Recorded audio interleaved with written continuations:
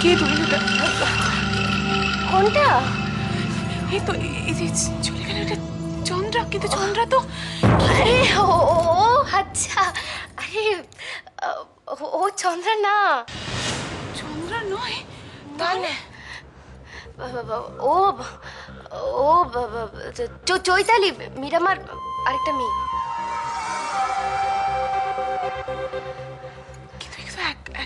একদম মতো দেখতে।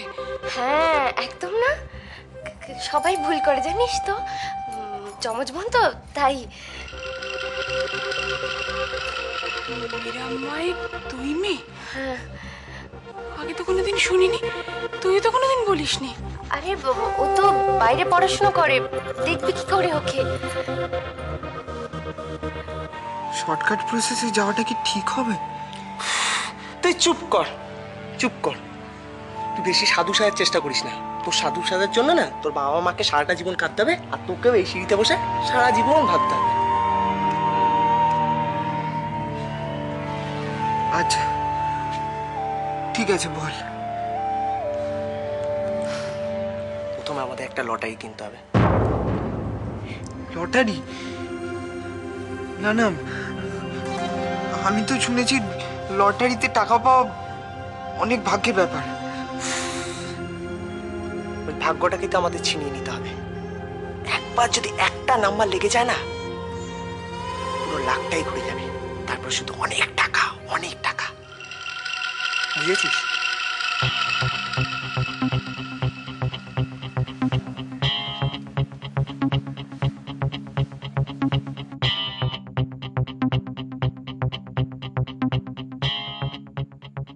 তোর কাকুর আত্মা তো এখানেই থাকে।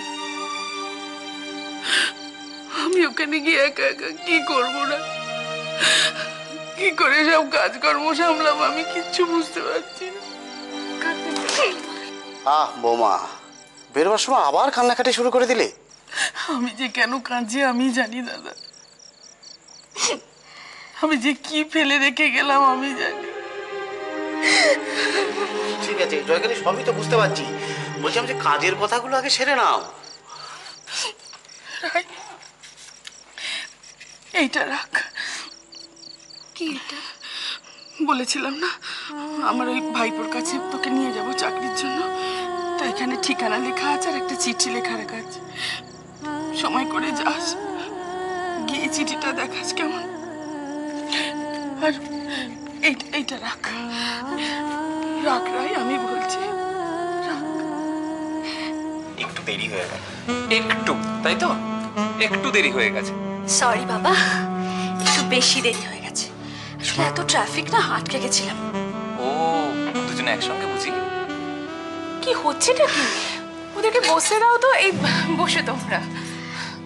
আরে বাবা শোনো ওকে তুমি যতই শাসন করো ও কিন্তু বদলাবার লোক নয়। কি হচ্ছে? কেন? কি আছে? এই তোমরা দুজনে কি কথা বলছো গো ফিসফিস করে? ইয়ে না কিছু না তো কিছু না। আমি খুব ভালো করেই বুঝতে পারছি যে তুমি কি বলছো। তাই বুঝি?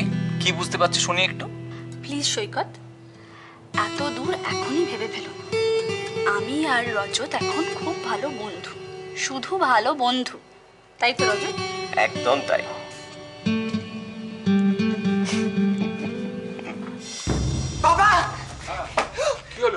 হচ্ছে ভাবছিস কেন? কি হচ্ছে? দেখো না। কি? টাকা? এ কি রে? টাকা এগুলো। এগুলো। আমার টাকা। আমাদের টাকা তুই টাকা পেয়েছিস লটারিতে পেয়েছি বাবা? লটারিতে লটারিতে পেয়েছিস? তুই লটারিতে পেয়েছিস এক লক্ষ টাকা জিতেছে কবে তোমার দোকানটা আবার খোলা যাবে। আমি খুলবো তোমার দোকান